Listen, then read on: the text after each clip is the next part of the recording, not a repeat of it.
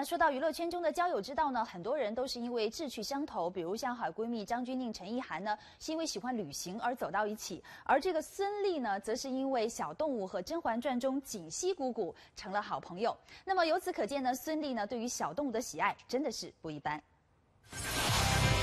十月二十五号，孙俪出现在了上海一场救助流浪动物的公益活动上，让不少人大呼意外。但其实娘娘一直都是热爱小动物的爱心人士呢。嗯，当我发现有流浪动物，关注到流浪动物这个群体，然后真的通过自己的努力和啊关注帮助下，真的有很多动物走进了家庭。孙俪更是身体力行的收养了不少的小动物在自己家中，此前还经常带他们出席一些公益活动。这只狗就是邓超捡来的，他拍戏的时候捡来的。他今天能这样，我觉得我已经很欣慰了，因为他刚刚来的时候，任何人跑到我们家里来，他都会躲在沙发后面，永远不出来。但自从生下了儿子等等之后，孙俪却不得不暂时远离一下这些小动物们。我在前两年都有养，但是后来发现我们家等等，嗯，他对狗毛过敏，对他有一段时间一直流鼻涕，一直流眼泪，我也不知道。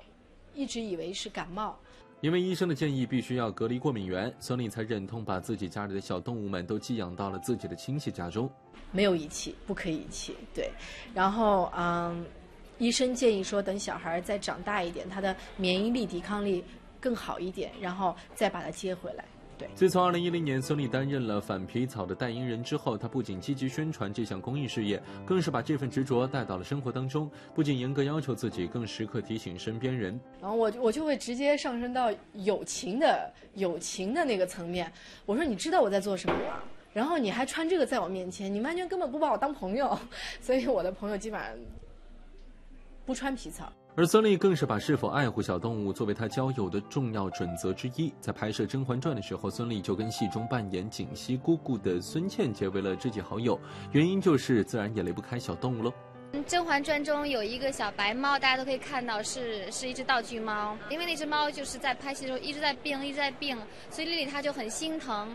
后来这部戏快拍完的时候，她就跟我说：“她说倩倩，我打算把那只猫咪抱回家养。”而孙俪这爱管动物闲事儿的精神，不仅局限在自己的剧组里，别的剧组里的小动物要是被她看到了，也要管。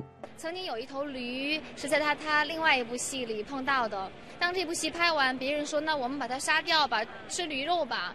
然后丽丽就不干了，说不可以这样，太残忍了。我要把它买下，他就花了很多钱把那头驴买下来了。这样的爱心和关怀，可以说很少人能够做到。而孙俪作为一名演员，更是公众人物，却能够观察入微，真正做到关爱小动物，不得不为她的这份爱心精神点个赞喽。因为我们为自己想的太多，就是没有为他想。为他想，就是他将来怎么办？他离开这个剧组以后怎么办？啊，所以其实我们多想一点，那些动物就会生活的很好，不是好一点点。对。新乐在线上海独家采访他。